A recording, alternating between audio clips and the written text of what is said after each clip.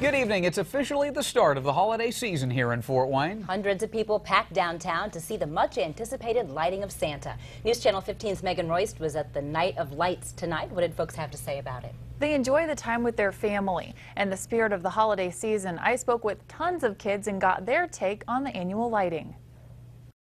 It doesn't matter whether you're young or old, everyone downtown loves to watch Santa light up.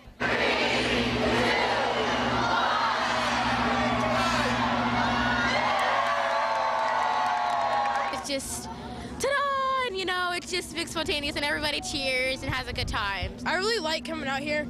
It's really fun to see all the lights turn on. It's just like a great way to start off Christmas and see all the spectacular lights and what there is to see downtown. For some, it was a first. For others, it's just a family tradition. Since third grade, so long time. I've always been here to celebrate Christmas. Santa himself was downtown to meet kids in the Summit City. I think I'm too old to be sitting on his lap, so I'm just gonna stand. My favorite part is when Santa Claus asks us what toy we want. Several say the Night of Lights kicks off the holiday season. It kind of marks the start of like Christmas season. It's like, okay, we went down to the lighting ceremony. It's officially Christmas time. Time to put the tree up.